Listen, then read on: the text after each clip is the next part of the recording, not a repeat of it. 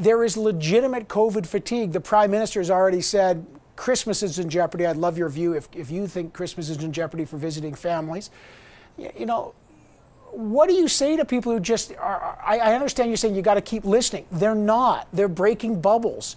Uh, it's changing. That's why we're in the second wave. What has to, something's got to change in the message because if the message doesn't change, you're going to get less compliance. What do you think needs to change right now? Just be practical. People are asking. They just want to straight it, like, you're the chief public health Yeah. officer. Do you think Okay, people should be able to go to a different city and, and visit their family Yeah. for the holidays? So every individual has a different risk assessment. So one is what is the lo- look look at what the local activity is like. Assess your own risk. So if you are someone with an underlying medical condition or you're elderly, there are different choices that you're going to have to make. Three is to keep your family safe, keep the numbers low.